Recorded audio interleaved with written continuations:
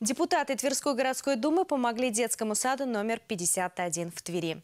На выделенные средства проведен косметический ремонт пищеблока и лестницы. Об этом смотрите прямо сейчас.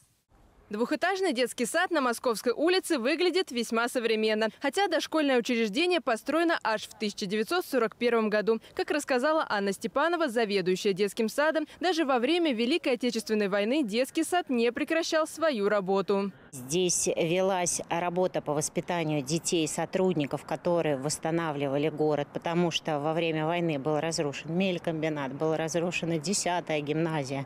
То есть и много-много зданий, которые требовалось восстанавливать. В этом году в дошкольном учреждении при содействии депутатов Тверской городской думы проведен косметический ремонт пищеблока. Помещение сияет новой плиткой, чистотой и стерильностью. Кроме того, приведена в порядок лестница. Сейчас в дошкольном учреждении 6 групп и воспитывается 160 50 детей. Когда-то детский сад служил городу и помогал его восстановлению. Сейчас весь город помогает восстановлению нашего дошкольного учреждения. И администрация города Твери, и депутаты, и, конечно же, наши родители и сотрудники все вкладывают свой свою какую-то лепту. Все стараются, чтобы дошкольное учреждение соответствовало всем современным требованиям. По словам депутата Тверской городской думы Ильи Холодова, помощь дошкольному учреждению будет продолжена. Следующая проблема, которая требует решения – ремонт асфальтового покрытия во дворе. В следующем году мы попробуем в данном детском саду сделать пилотный проект по ремонту площадки, асфальтирования Э,